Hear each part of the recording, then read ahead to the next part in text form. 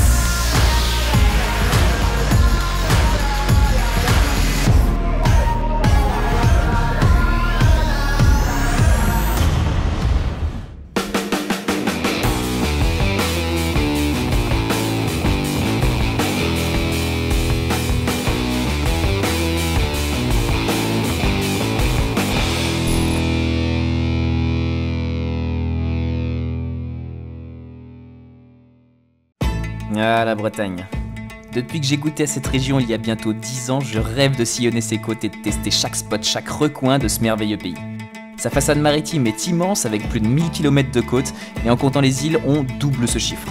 Avec la Manche et la mer Celtique au nord, l'Iroise à l'ouest et le golfe de Gascogne au sud, je vous laisse imaginer le potentiel que cette péninsule a à offrir.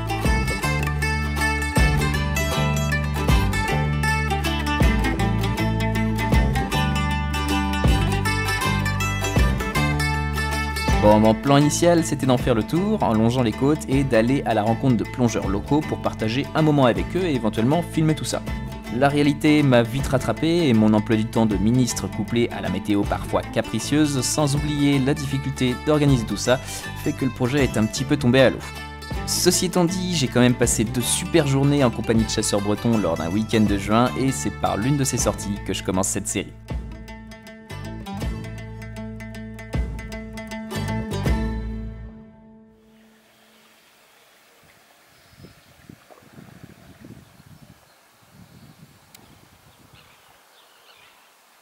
C'est donc en cette matinée très calme à la mise à l'eau de Brest que j'ai rendez-vous avec mes deux compagnons du jour.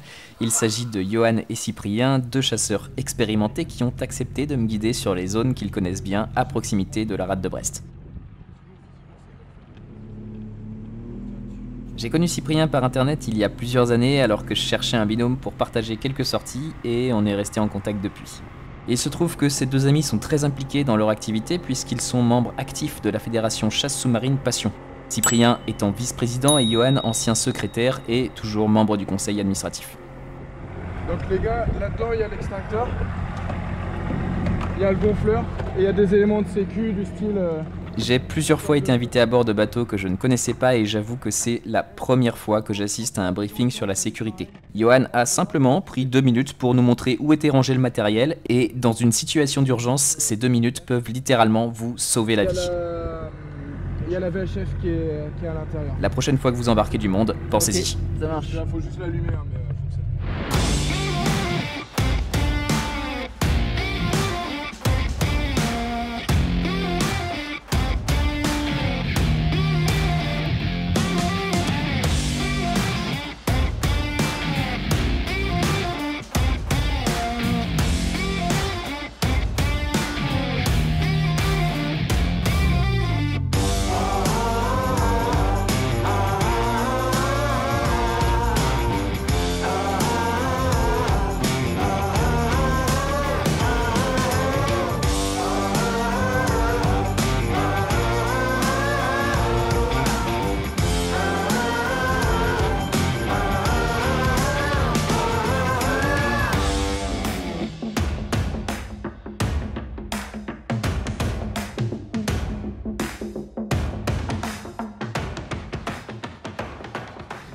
On va faire des dérives pour commencer en attendant la basse. La haute est à 16h, donc peut-être jusqu'à 14h. Et là, on filera au tas de poids pour essayer d'aller faire du ça. Puis c'est sympa, le tas de poids, c'est un point ouais. ouais, c'est sympa. Au, au pied, c'est impressionnant euh, quand il ouais. et, euh, et après, au retour, on essaiera d'être à marée haute en rade pour aller voir euh, un Ils peu de se parider. Finalement, après quelques dérives rapides, on décide de mouiller, le courant n'est pas trop violent et en chassant en amont du bateau, on ne risque pas de se faire surprendre. L'eau est un poil fraîche pour moi qui débarque des tropiques, mais je suis heureux. Me voilà en mer d'Iroise.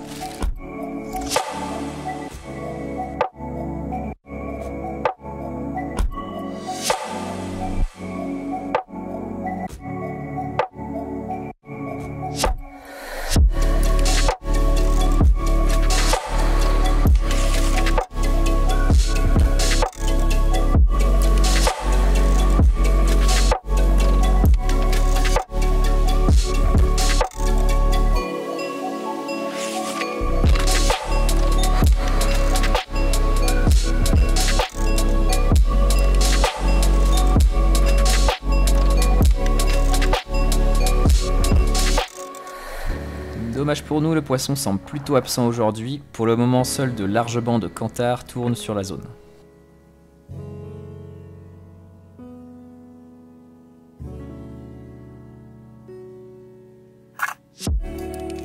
C'est Cyprien qui, sur cette action, flèche les premiers poissons avec un beau doublé de sar. Malheureusement, le second se décroche quasi instantanément et plonge dans les laminaires. On ne le retrouvera pas.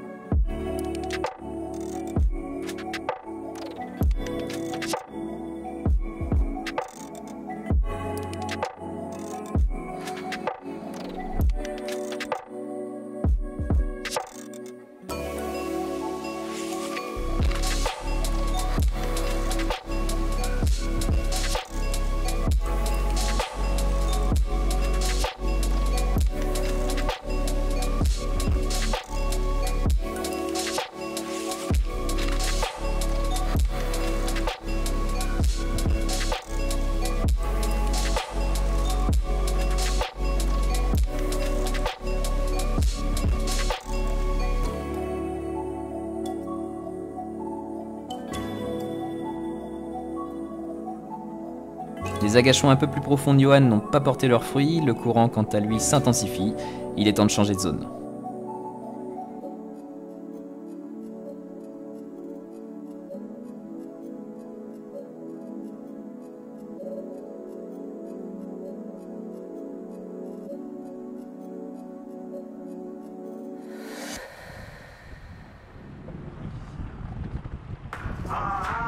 La suite de la sortie, eh bien pour être complètement honnête avec vous, je me suis laissé un peu aller et je n'ai pas pris le temps de tout filmer. Il faut dire aussi qu'on a eu du mal à trouver de la vie et que la visite n'a pas été au top sur tous les spots, notamment en rade comme vous pouvez le voir sur cette image. Et sur l'état de poids, eh bien je me suis laissé tenter et j'ai troqué la caméra contre une arbalète. Je vous partage tout de même les quelques images qu'il me reste, c'est parti.